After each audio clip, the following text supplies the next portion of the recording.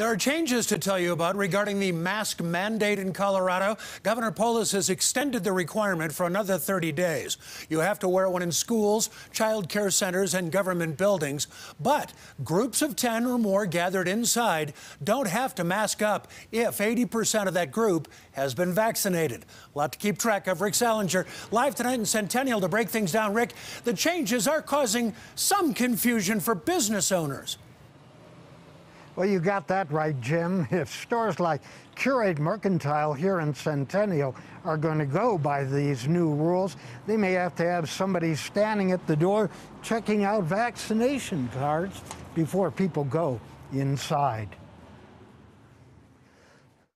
At this store and others, it's another day and another mask order to figure out. I woke up to the news just like everyone else did um, that there was a new mandate that we were going to have to enforce somehow. The new rules allow people to be indoors without masks if there are 10 or more present and 80% have been vaccinated. In practice, it's very hard for us as small businesses to be the ones enforcing or policing the vaccination records of people walking in and out of our doors every day. If she is having trouble trying to sort out the new mask rules, imagine what restaurants are going through or grocery stores trying to figure out if 80% of the people inside have been vaccinated.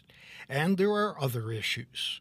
How do we retain this information? Are people really giving informed consent to the disclosure of this type of information as part of their privacy? Letting people take off the masks inside may be seen as a step forward, but a difficult one. As for the customers caught in the middle, if a store says I can come in without my mask since I vaccinated, that's fine with me. I will not wear a mask. Good for her. Remember, we told you it could be a problem for grocery stores?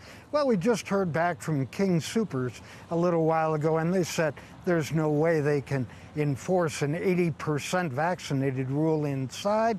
So Everyone, staff and customers, will have to remain wearing their masks when in the stores. Live in Centennial, Rick Sallinger, covering Colorado First.